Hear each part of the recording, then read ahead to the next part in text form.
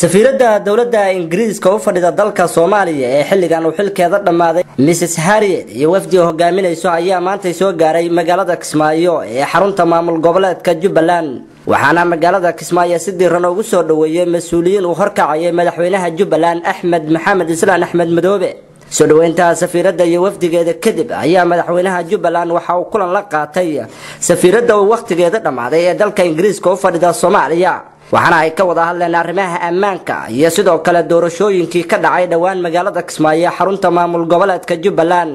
Iyadoona safiiradda ay si wanaagsan ugu mahadcelisay maamulka jubbaland oo ay sheegtay in ay arrimahaasi kaalin doorla ka qaateen. Waxaana sidoo kale safiiraddu ay sheegtay in dowladda ingiriiska ay si weyn u taageeri doonto howlgalka jubba oo dhowaan la rajeynayo inuu ka bilowdo deegaanada jubbaland ugu horeyn madaxweynaha jubbaland axmed maxamed islaan axmed madoobe ayaa kulankooda kadib ka warbixiyey sida uu ugu faraxsan yahay safiiradda soo gaartay magaalada kismaayo.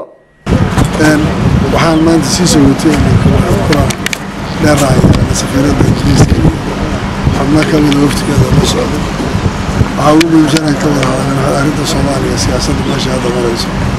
gaar ahaan doorashooyinka iyo arrimaha amniga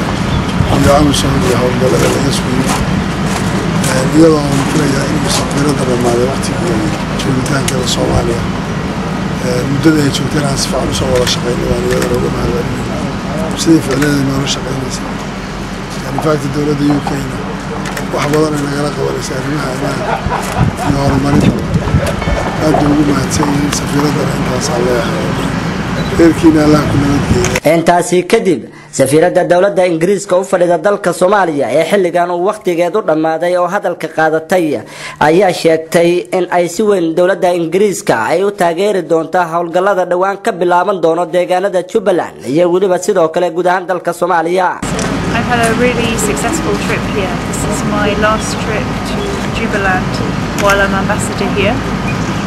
met the president we've had very useful discussions on security and UK cooperation with Jubaland. We've talked about AMISOM performance as well and how we can fight Al-Shabaab better.